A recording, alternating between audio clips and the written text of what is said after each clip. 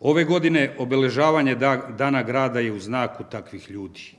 Onih kojih se sećamo po dobrim delima i onih koje priznanjima i nagradama prepoznajemo i izdvajamo kao originale.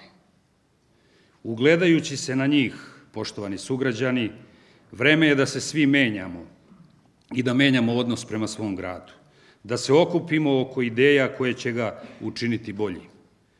Užice može da se menja samo ako smo mi spremni da ga podržimo i oplemenimo.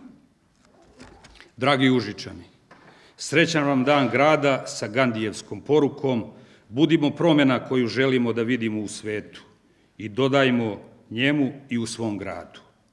Te promene moraju biti promene u nama, u našim postupcima, porodicama, komšijskim odnosima, poslovnom i radnom okruženju. I ne zaboravite, uvek je pravo vreme da nešto učinimo za svoj grad i svoj narod.